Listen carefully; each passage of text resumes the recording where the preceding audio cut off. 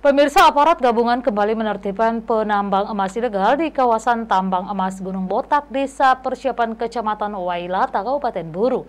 Selama dua hari aparat berhasil mengusir paksa penambang yang melakukan penambang emas di lokasi tambang.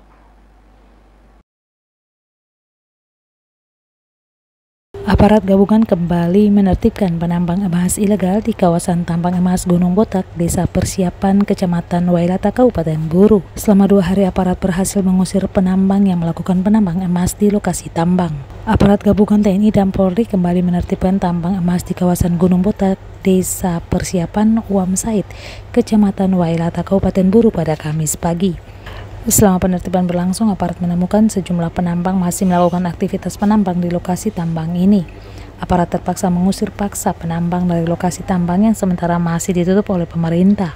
Penyisiran sejak Kamis hingga Jumat hari yang dipimpin langsung Kepala Bagian Operasi Polres Pulau Buru AKP Uspril Walter Fotuembun berhasil membakar sejumlah tenda milik penambang. Selain tenda dibakar, aparat juga memusnahkan bak rendaman dan lubang yang digunakan oleh para penambang.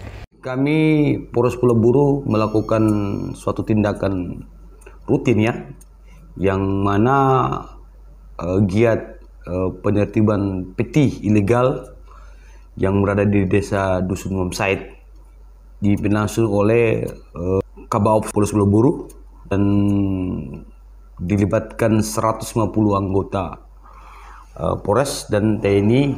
Tim akan dibagi menjadi tiga bagian dan dua hari akan dilaksanakan penyisiran. Di lokasi mana sih? Yang pertama daerah yang jelasnya di daerah pegunungan itu pasti kita lakukan pen, uh, penertiban.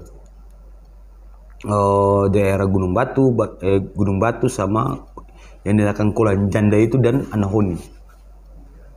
Apa-apa dari sasaran penyisiran kali ini? Semua kita sisir yang seperti tepi dari mulai lubang, kemudian rendaman, eh, talang-talang, dompeng, semua kami akan lakukan itu. Dari Kabupaten Buru, Sofian Muhammadiyah melaporkan.